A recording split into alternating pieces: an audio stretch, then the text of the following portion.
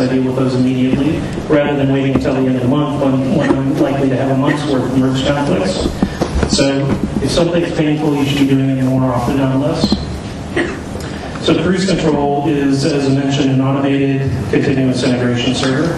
It's essentially just a cron job with some reporting stuff slapped on top of it. Uh, cruise control essentially monitors your source control system like Subversion or Perforce or whatever your SCM is, and it, and it waits for changes to come in. As soon as you check in those changes, what cruise control does is it checks them out from the source control system and then builds them and hopefully tests them. And this is all depending on how you how you configure and set up your build. And then finally, after the build is done, it reports on what happened during that build. And it shows in the, in the picture there, this is the, uh, the new reporting dashboard, dashboard from uh, Cruise Control for Java 2.7. Um, it shows a little box that indicates for each project what the state of that project is. Green is good, red is bad. Very in keeping with the, mentality uh, that came out of the JUnit type testing. So that's sort of continuous integration and cruise control at a very high level. What I'm going to get into now is some of the best practices that if you're trying to do continuous integration, whether it's manual or automated, some of the things you should be should be doing. So the first one is check in everything. So Pramod was talking earlier about how you take your all of your database scripts and uh, check those into source control along with the code. Not very many organizations are doing that today, but they really should be. You should uh, also check in things. I like to do like check in all the third-party libraries that I might need. I also like to do things like check in the JDK version that I'm using. So that way, when somebody comes to my project and joins my project, all they have to do is get the subversion URL for me, check out the entire source tree from from the repository, and they're up and running in no time. They don't have to go. They don't have to go and download the JDK from some website. They don't have to uh, install and set up.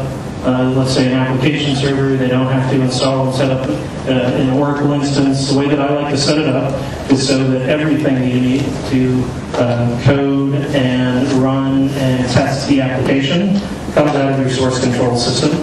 And this seems very difficult at first, but there are actually lots of lots of easy ways, uh, especially with contemporary tools like Eclipse, even IntelliJ, uh, to get them to get them all checked into Subversion in a way that they're they're directory independent, so that it doesn't matter where I check them out to, everything will just work.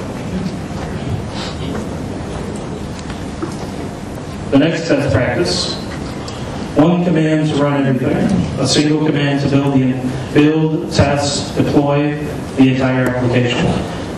This way, everybody in the project is doing exactly the same thing. When I'm working and coding and getting ready to check in, I run a build, and as long as it passes, I know that hopefully everybody else in the project should be able to run that, that same build and it will pass in their environment. Everybody, including cruise control, is using the same Ant script. There's no, uh, there's no tribal knowledge about how to build and deploy an application. It's all, it's all built into either the Ant or Rake or an script about how to, how to build the application. It makes it repeatable. Next one is testing everything. And so I'm a big fan of test-driven development, so I, I, never, I never write a line of code unless I have a broken unit test or a broken functional test that I'm working against. A lot of times, in fact, in the last project that I was working on, as part of the deliverables that the business analysts were giving to the developers, they were delivering functional tests in, in FitNesse. So what we started doing is we were calling it fit first development, where we'd have this broken FitNesse test that we would start coding against, and then we would, we would end up drilling down into whatever the feature was as described in FitNesse. We drill down into the unit tests that were required uh, in order to uh, implement that feature as well. So we'd be we start with the fit test, we'd work our way down into the, into the unit test with JUnit, uh, get finally get down to the point where we're writing code, and then bubble our way back up. And by the time we were done with a particular story part, a particular feature, we knew that everything everything had been tested all the way all the way from uh, top to bottom. Um, so this, it includes everything, unit tests, functional tests, acceptance tests, and they should all be automated. There's an interesting point in Martin Fowler's article on continuous integration that a program may run, you may actually be able to deploy the application to your application server, for example, but that doesn't necessarily mean that it's doing the right thing. So you need to verify it through automated, repeatable tests. Next one is check in often. In Fowler's article, he says he says check in once a day. What I like to do is I like to get teams to the point where we're checking in, let's say, every hour, or at least twice a day. So that's say every four hours if you're on an eight-hour day. So what I like to do is I like to set up a timer on my on my desktop, my my uh, coding machine, and my pair and